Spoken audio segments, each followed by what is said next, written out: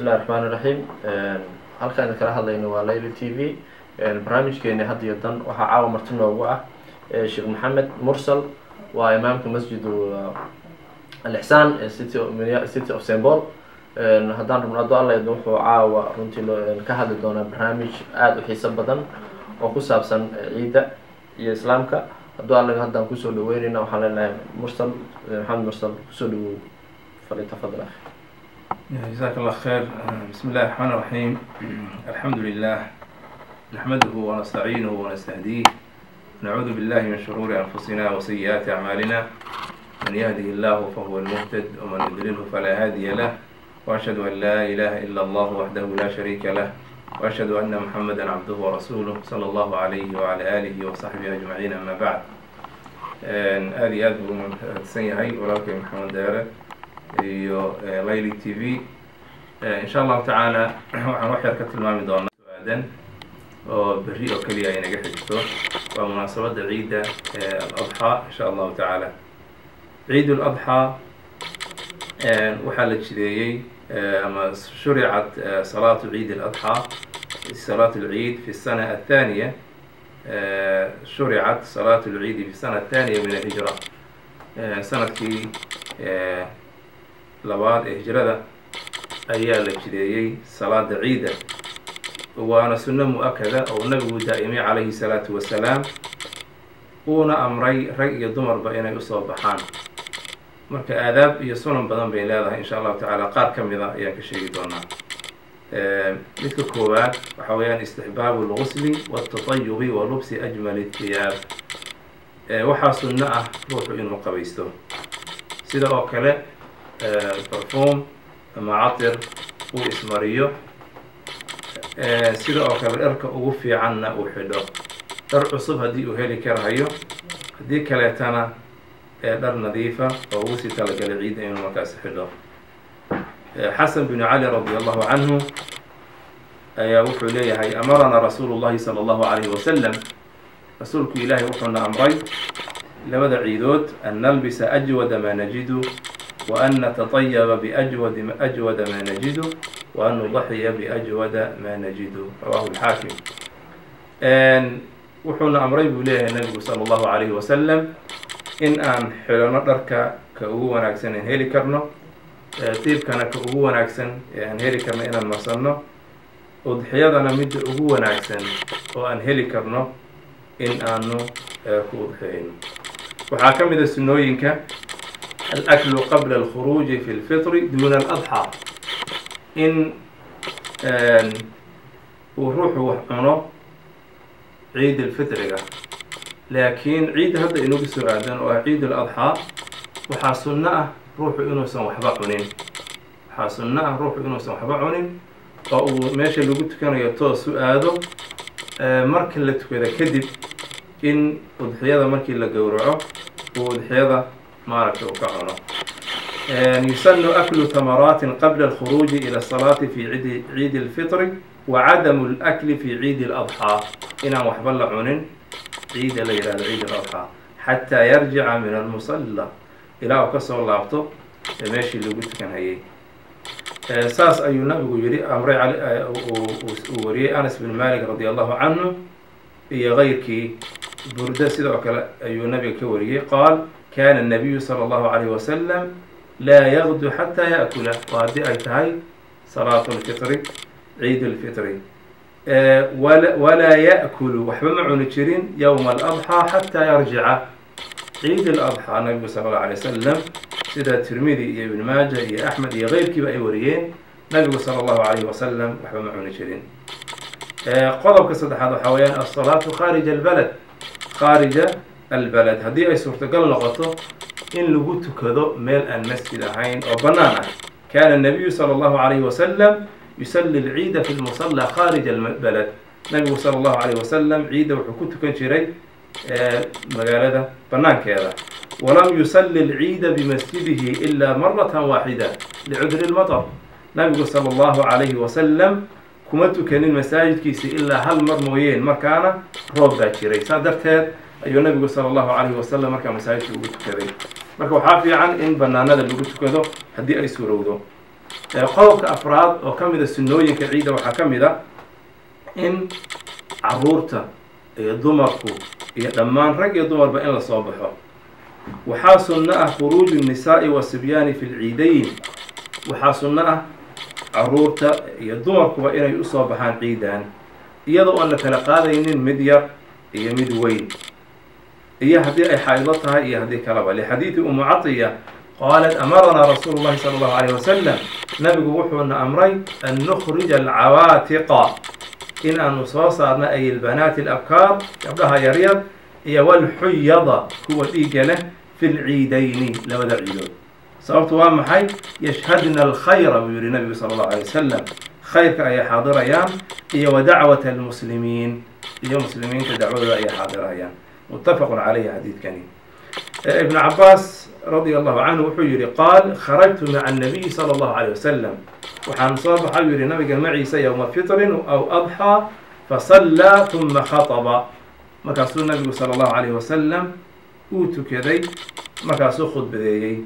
Markaasuu dumarka u yimid nabigu sala allahu alayh wasalam wacadahunna waa uu wacdiyey wadakarahunna waa uu xusuusiyey wa amarahunna wuxuu amray nabigu calayhi salaatu wasalaam bisadaqati sadaqa ayuu amray nabigu sal alayh salaatu wasalaam bukhaari ayaa xadiidkaa warinaya qodobka shanaad meesha lagu tukanayo marka ay bannaan tahay insha allahu tacaala ma masaajid haddii meel kale la waayo aadaan iyo iqaamatoona male salaada ciidu loo aadaami mahayo loona iqaamana lama samaynayo wadalika lixadiidi jaabirin wabni cabaas qaala lam yakun yu'adanu alfitri walaa yowma aladxaa yani muttafaqun calayhi lagu tukanayo akhada bisalaa akhada fi salaa salaad buu ka bilaabi jiray min gayri aadaanin walaa iqaama iyadousan aadaanna jirin iqaamana aysan jirin walaa qawlu asalaatu jaamica iyo iyadoo aan la odhanaynin asalaatu jaamica iyo wixii la mida aan la odhanaynin ibnu qayim wuxuu leeyahy wasunnatu anlaa anlaa yafca an laa yufcala shayun min dalik sunnadu waxaa weeyaan inaan waxba la samaynin yani wax la mida aadaan ama iqaama asalaatu jaamica iyo wixii la mida qodobka lixaad waxa weeyaan asalaatu qabla salaati alciidi wa bacdiha. Yani inaan salaad ma jirto yani ciidda markii meesha lagu tukanayo salaad sunno ah oo ka horeysa salaada laba ragcadeeda ciida ma jirto ama mid ka dambaysa. Sunna qabliyana ma jirto sunna bacdiyana ma jirto ciidi sunnatan qablaha walaa bacdaha ma sugnaanin in salaada ciida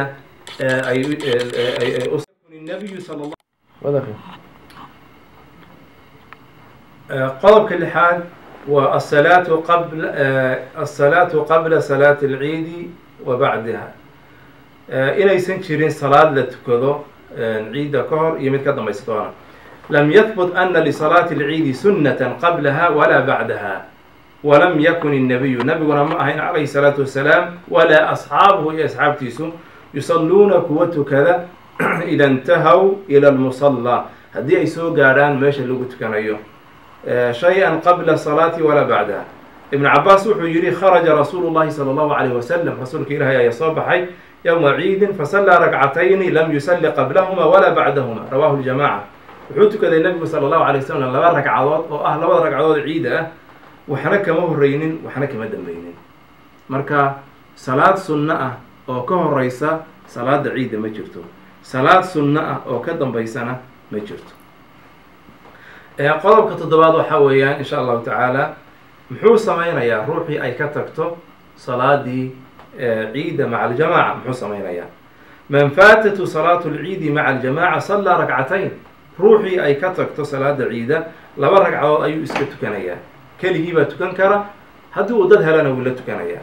Qaala alimaamu albukhaariy imaam bukhaari wuxuu yihi baabun idaa faatathu alciidu yusalli ragcatayn imaamu bukhaari baab dhan buu u baabeeyey oo uu leeyahay baabun idaa faatathu lciidu haddii ay ka tagto salaada ciida yusalli ragcatayn wa amara anas bnu malik baa wuxuu amray mawlaahu ibnu abi cutba bizaawiyati fajamaca ahlahu wa baniihi wasallaa bihim ka salaati ahli lmisr yani wuxuu amray mawlaahi mawlahiisi mawlihiisii buu amray in uu maaragtay uu tukiyo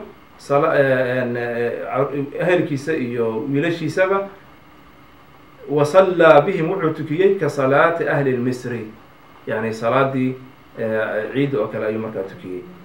Caطaa wuxuu leeyahay idaa faatatu alciid sallaa ragcatayni ruuxii ay ka tagto salaada ciiddu jamaacadii laba ragcadood ayuu tukanaya qodobka sideedaad waxa weeyaan oo ka mid a aadaabta iyo sunanka ciidda oo u baahannahay inaan ogaano waa atakbiir fi salaati اlciidayn salaatu lciidayni waa ragcataani waa laba ragcadood yusanu fiihima an yukabira almusali qabla alqira'ati fi اrakcati اlأulى sabca takbiiraat bacda takbiirati اlإxraam wafi thaaniyati hamsa takbiiraat gayra takbiirati اlqiyaam waxaa sunno ah ragcadda koowaad toddoba takbiirood in allahu akbar la dhaho oon lagu daraynin takbiirat alixraam tii lagu xidhay.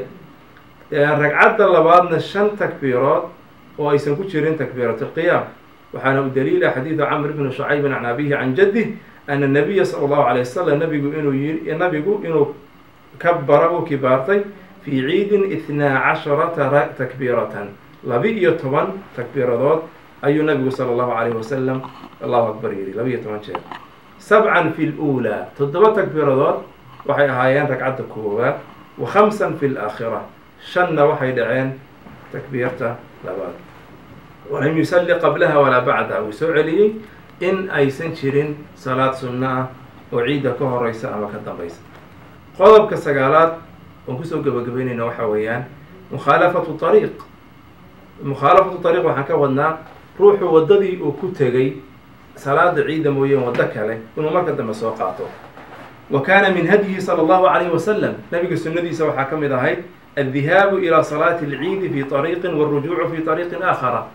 In marka uu aadahayo salaada ciidda ee meesha lagu tukanayo inuu waddo sii maro marka uu soo noqonayana waddo kale uu soo qaato si markaasi dhulku uu makhraati uga noqday. Lixadiidi jaabir radi allahu canhu qaal xadiidu jaabir kana ida kana yowma ciidin haddii ay tahay maalin ciida khalafa ariiqa waddada ayuu khilaafi jiray nabigu sala allahu alay wasalam rawahu lbukhaariy waxaan ku khatimaynaa in allahu tacaala allacib lmubaax wallahwu.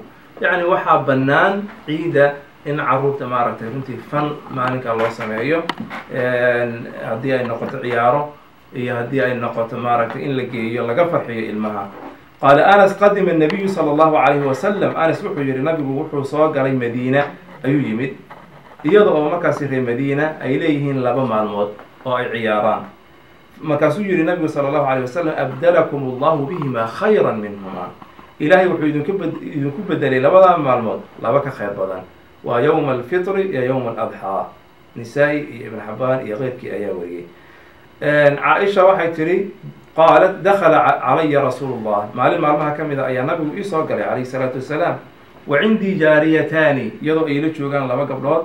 tuganiyaani oo heesahaya biginaa'i bucaad fadajaca cala alfiraashi nabigu markaas waa uu seexday. waxawala wajhahu marka xadiidkan waxaan ka qaadanaynaa in waxoogaa tarfiih ah iyo maaragtay fan loo sameeyo ilmaha iyo dumarka iyo dhammaan maaragtay dadka ciidahaya insha allahu tacaala eh, iyadoo ay saas tahay oo labadaa gabdhood ay xoogaa heesa hayaan ayuu waxaa soo galay abubakar wuu icanaantay bay tidhi.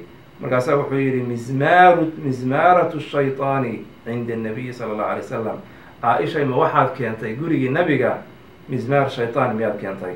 Markaasuu nabigu sala allahu alayh wasalam soo qaabilay nabigaa yiri dachumaa dachumaa iska daa fii riwaaya waxay ahayd nabigu wuxuu yihi ina abaa bakrin abubakrow ina likulli qowmin ciidan.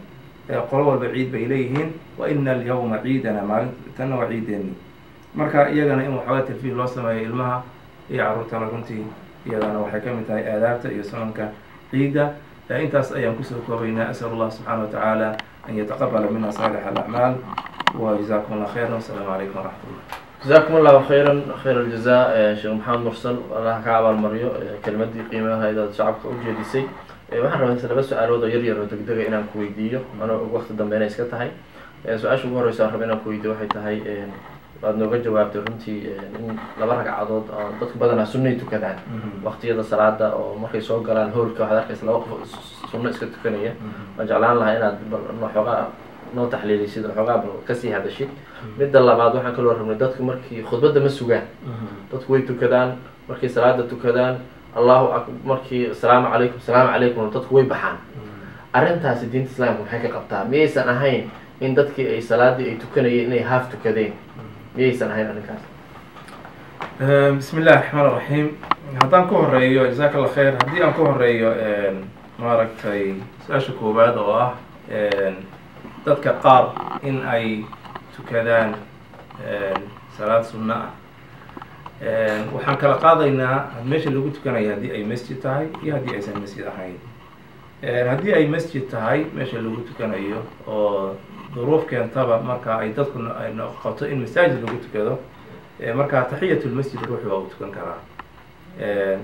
Laakiin haddii ay tahay meesha lagu tukanayo meel banaana ama conventionka oo kale ama hadda meeshaan ku tukan doono oo kale karesembool ahaan masjid ilixsaan ruuxu wax sunno ah ma tukanayo. Arrintaana jumcadii runtii dadka aad baan ugu baraarujinay dad badan ba waxaad arkaysaa markay yimaadaan salaad sunno ay ka bilaabayaan oy tukanayaan dhowr kacdo in badan baan ku celcelinay runtii haddana waa ku celinaynaa.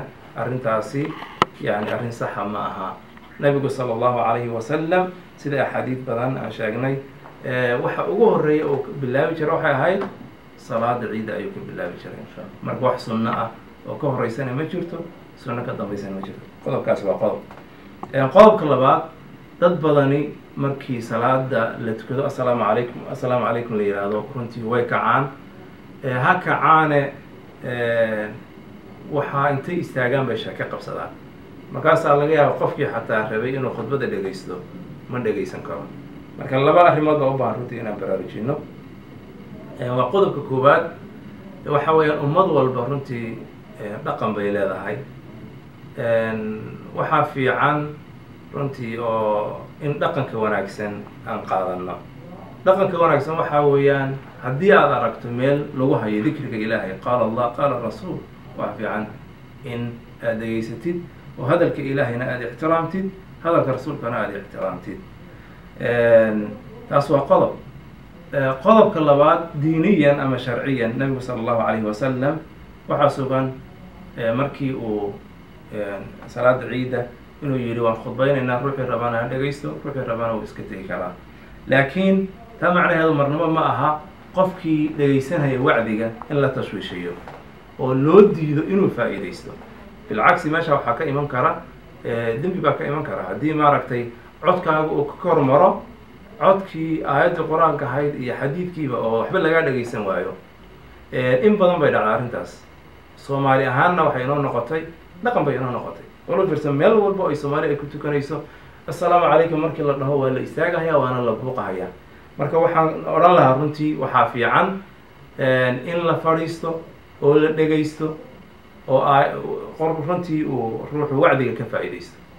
Leanay qur'aan iyo axaadiid iyo hadyigii nabiga sala allahu alay slam ayaa meesha lagu hayaa. Kow taas waa mid. Haddii uu dhegaysan waayo oo uu si un ama degdegsan yahay ama shaqo ku degdegayo fadlan waxaan dhihi lahaa ayaan la tashwiishinin dadka tukanaya wajazaakum allah khayra su'aasha ugu dambeyso hadduu alla idin rabo inaan ku weydiiyo waxaan nahay jaaliyadda reer sembola degan minnesota. Halkee baan ku tukanaynaa hadduu alla idin salaada ciida waa su'aal aada fiican wey insha allahu tacaala toddobadii sane ee ugu dambeysayba masjid ilixsaan wuu soo qaban qaabinayay ciidaha. Waxaana ku tukanaa paul and sheila. Meesha la yidhaahda neighborhood house oo downtown kingsonville dhinaca i think westiga ah ayaan ku tukanaa. Hadduu alla insha allahu tacaala fulinta boorka ay ku dhegan tahay.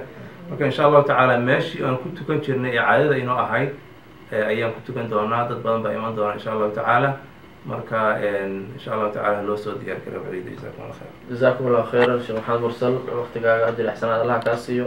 Inteena kalena dadkii ka camal falo oo ka mataqaana ilaahay ka abaalmariyo dhammaanteen inaan noqono. Jazakum allahu khayr wasalaamu calaykum waraxmat ullahi wabarakatu khayran